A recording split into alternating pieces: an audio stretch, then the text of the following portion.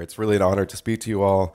Um, it's also really bizarre for me to be speaking to you all here in particular, and uh, I'll tell you why. So, oh, that's me. That's, maybe I should start over. Um, so, uh, a couple of years ago, about two and a half years ago, uh, I was working as a freelance journalist, a magazine writer uh, in New York, and I was out at a bar with uh, my editor, and we were drinking and complaining. Those are the two things that journalists do best, I think. Um, and we were complaining about the fact that for the magazines that we worked for, he worked at Wired Magazine at the time, he now works at the New Yorker Magazine, uh, we couldn't do the stories of the lengths that we sometimes wanted to do. Um, and we were also complaining that sometimes when the story went from the magazine, the print magazine, to the website, uh, it didn't really take advantage of all the things that you could do on the website. It was just sort of thrown up there over five or six pages, and there it was. So uh, we were talking about, well, maybe we could start some sort of publication that would do this kind of work. And we got together with a programmer, uh, the third guy who was less into complaining but also into drinking. So we started hanging out at bars. And uh, we came up with this idea. So we would have this publication, and uh, we would do it all digitally, and we would sort of conceive it from the beginning digitally. What would it look like if we just said, hey, let's start uh, something in between magazines and books, and we just had it be for tablets and e-readers and on the web, what would that look like? So this was all going well, and we were sort of designing it, and Jefferson, who's the coder, was actually doing all the work, and he was building something. Uh, but then the question was, where were we going to get these stories that we were going to tell? And we knew lots of journalists, so we started asking them, you know, hey, will you pitch us a story, a story you might do for a magazine, but maybe it's too long? And uh, the result was that most of them said, that sounds like a great idea. Uh, let me know when it starts because I didn't want to write for something that didn't exist. So eventually we decided that I would, the next story that I came up with that seemed suitable for us, uh, I would go write it. And it just so happened that I heard about uh, a robbery that took place in Stockholm uh, in 2009. And this is probably the first audience ever where most people will have heard of this robbery. Um, so it had taken place almost a year before, uh, but I was reading about it, and the guys were about to go to trial and uh, it was very elaborate. It hadn't been written about much outside of Stockholm. So uh, I came here. Uh, I spent two weeks reporting it, paid for it myself, and then uh, came back and put it together. And that turned out to be our first story. So um, it's called Lifted. Um, and rather than walk you through the story, which most of you already know, I want to show you how we decided to start this story. So the, the opening chapter, if you were to get our app for the iPhone, iPhone or the iPad, or you were to buy it online, the opening chapter of this story starts like this.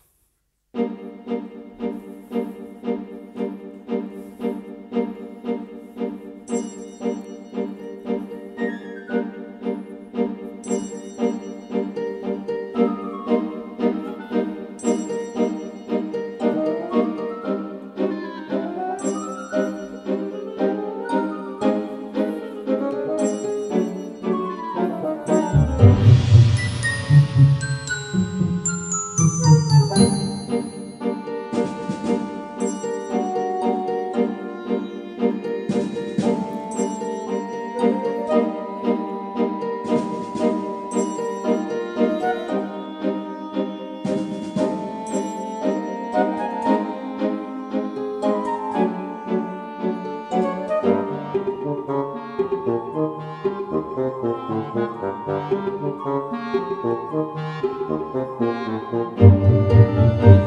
you.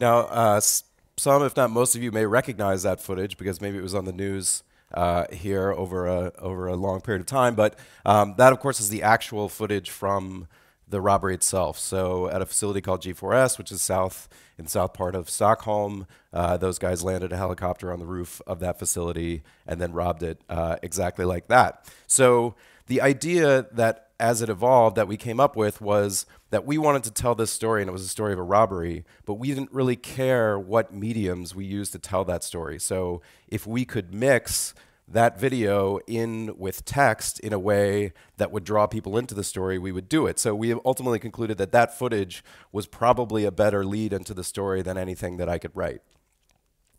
So then after you were to watch that video, then you go to chapter one. So chapter one starts with the planning of the robbery uh, about a month before, uh, and of all places, uh, it actually starts on Skeppsholmen, right here, about 500 yards or 500 meters from where we're standing right now. Also, when I did the audiobook, I had someone, uh, a Swedish person, train me about 100 times to say the word Skeppsholmen, but I'm still not sure that that's very close. but you know what I'm talking about. Um, so the idea was uh, you would have text, and then um, in addition to sort of mixing in media into the story itself, we would also have a layer of additional things that you could bring to the surface. So, for example, uh, if you didn't know where Skeppsholmen is, you could call a map up by tapping on the term. Um, if you wanted to see a photo of it, there might be a photo uh, designed into it just the way there would be in a magazine. So that's uh, a bench just on the other side of the hill. That's where they would sit and plan uh, the robbery while the uh, police tried to listen in. Uh, they actually had a policewoman with a dog that would walk by and try to figure out what they were saying, which she never did, obviously, because they uh, were unable to figure out that they were going to rob this place. Um, if you wanted to see the characters, uh, you would be able to to also tap their names and bring that to life. So the idea was there would be sort of two kinds of media in these stories. There would be the media that was essential to the story, uh, like the video, and then there would be the media that you could bring to life in the story, and it would all be mixed in. So that's kind of how we started was with that story, and then we've evolved over the, the last two years um, to become uh, what we consider a storytelling company. So, you know, what we make are essentially short books. Uh, in some contexts, you might call them long form journalism. In some contexts, you might call them short books. Um, but we think of ourselves as a company that goes out to tell true stories and help other people tell stories. And what you call those at the end books, stories, magazines that matters uh, not as much to us. So there's two sides to that. One side is the actual publishing. So the original stories that we're going out and doing, like Lifted. Um, we've done about 23 of those. And as Joanna mentioned, uh, one of the most recent ones was actually primarily a documentary film that had text mixed into the film. And then we create software. So we create tools that originally we created them to allow us to do this type of storytelling, but now we provide them to uh, other publishing houses, and soon we're going to provide them to uh, individual authors as well to do exactly the kind of thing that we do, but even on a larger scale, because we're actually very small. We're based in New York. We have uh, 12 people, um, and we're backed, interestingly enough, by people on both sides of this uh, this sort of uh, dual equation. So, you know, on the software side, we're backed by Eric Schmidt, who's the chairman of Google, and on the publishing side, we're backed by uh, or the content side, I guess I should say, we're backed by a guy named Barry Diller, who runs a company called IAC, and a guy named Scott Rudin, who's a film producer in the US. And uh, Scott Rudin, some of you may know, he actually produced uh, the Stieg Larsson uh, American version of the first Stieg Larsson book film, which could be controversial, good or bad in this room, I'm not sure. Um, so, um, in terms of our stories, what we do, so there's the three of us uh, drinking in a bar uh, which we still do. That's still where we hold uh, most of our meetings, um, although we do have an office now. Um, so we, we call that the atavist, what we are the stories that we tell. So it's kind of like a magazine. Um, but the idea is that the stories are between magazine and book length, and they're sold both individually as ebooks essentially and uh, by subscription. So we put out one every month. You can subscribe, you can get one uh, delivered to you. and we tell them in all these different environments. So uh, whether it's just for an e-reader like a Kindle or a Nook, or it's online through a web reader that we have, uh, you can buy them direct from our website, or through an app, or on your phone. The idea is that the story is the essential thing. Where it gets told, that's just a matter of technology. And then multimedia that's designed into every story. And just to give you a couple more examples of how we do that, multimedia for us can mean uh, a nonfiction comic. So we've done a story that's uh, about an Ethiopian immigrant who made his way to the United States, and it's told entirely visually with sound effects woven in. Um, it can mean uh, something that's a little more uh, interactive. So uh, this is a story about Mexican drug cartels, um, and you can have things sort of come to life out of that. It can mean uh, something like this, which is a story about Iraq, and there's actually an entire chapter of the story that is uh, animated.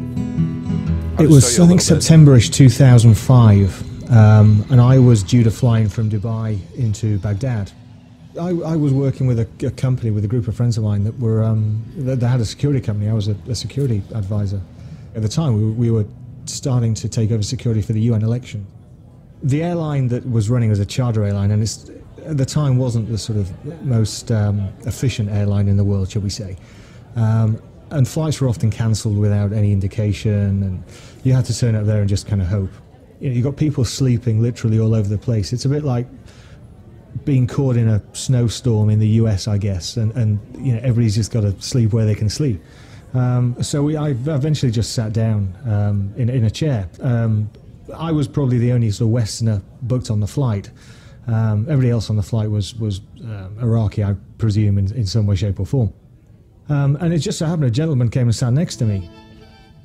Five seven, jet black hair, very blue eyes though. You know, you could tell he was Kurdish because of his eyes. Reasonably slim, had a, a slight sort of belly at the time, but nothing too much, and uh, very well dressed. Spoke excellent English, um, and you know we were basically talking for about three hours, sort of discussing what we were doing. Um, and it turned out, you know, after a while, that he owned the duty-free rights for Iraq, i.e., he, he owned the rights to sell alcohol and duty-free goods at all the airports in Iraq. In Iraq at the time, it was it was quite difficult to get a drink. What you could get was was very limited in terms of it was literally sold out the back of somebody's house. Uh, so I was joking around. His name was Ahmed, and I was, I was saying to Ahmed, um, you know, if you could, you, you probably want to get some decent wine into Baghdad. And that's when he turned around and said, well, I could do, but I'm looking for a partner to do it with because you need a specific badge to get into the green zone. And I was just jokingly, I said to him, well, listen, if you're interested, I'll, um, I'll partner up with you. But I thought he was just joking around, and to be honest, we, we didn't really sort of discuss it any further that day. You know, I just thought it was another conversation at an airport. So the idea again is, I mean, that is a story that we sent a reporter out to do, um, and he came up with the story and he he wrote it. And then we we took one chapter of that story and we had an audio engineer record the main uh, source in that story telling that that first chapter and then we had it animated, which has a couple of advantages for us. One is that uh, it's a different way to tell the story, it's a different way to approach it, but it also gives us another piece of media that we then distribute. So we put that video out as a kind of trailer, like a movie trailer for, for the book that we're selling. And uh, it got you know 20 or 30,000 hits on YouTube and Vimeo, and it's a way to kind of pull people back into what we do. And then finally, um, we try to do stories at least once a year uh, about music because these types of uh, environments are so perfect for telling stories about music. This is a story that we did at the very beginning about a jazz musician from the 20s and 30s. And as you go through the story, you hear a soundtrack of his actual, he's a piano player, his actual music. And then in different places in the story, when it's discussing how he plays the piano, um, we have original recordings of that music.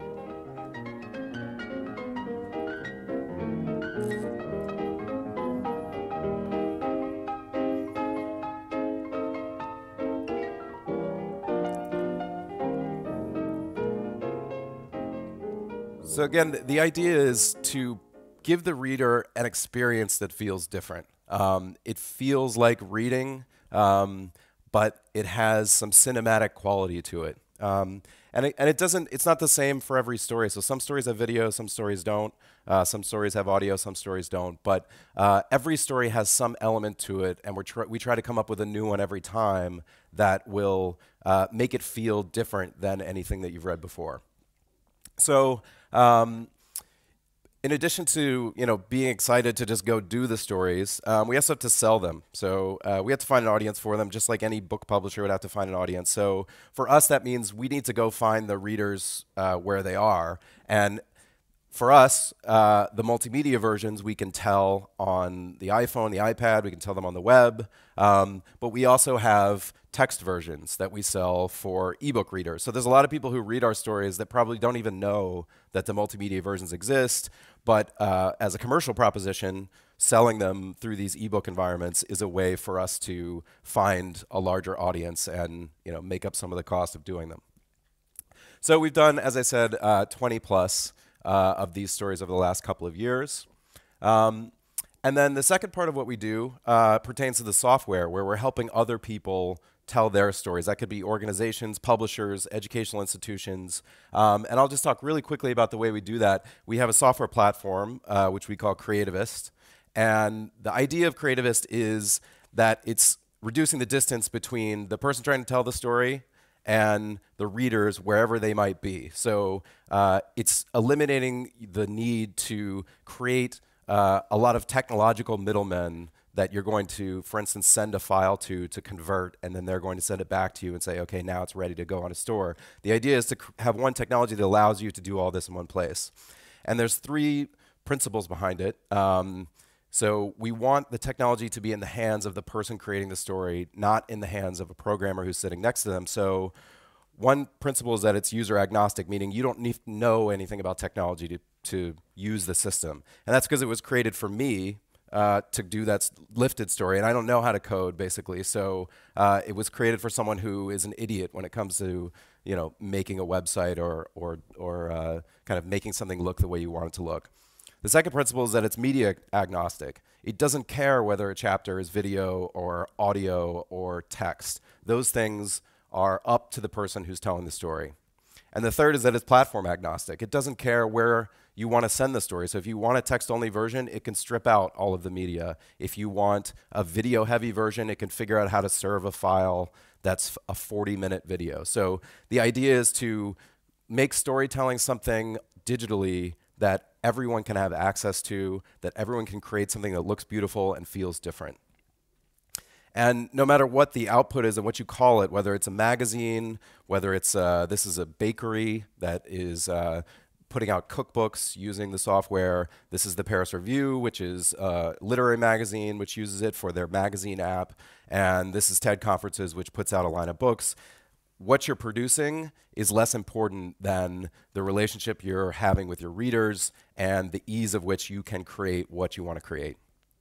So just lastly, um, in terms of where we're going, I mean, one place that we're going is we're expanding what we're doing in terms of publishing. So we've made a partnership where we're going to be doing full-length books and we're going to be doing fiction in addition, to nonfiction. And we're also going to be moving into print. So as Joanna said, we're going to try to take some of these principles and apply them to print books and see what kind of creative ways we can come up with to take this platform we built and also make it output to print. And then we're opening up this creatavist platform for everyone. So that means if, like me, you might want to write a short book about your cat because you're completely obsessed with it, uh, you can do that. And that can live right alongside the type of professional publishing uh, that we do once a month. So that's it for us, and I'll turn it over to Frank.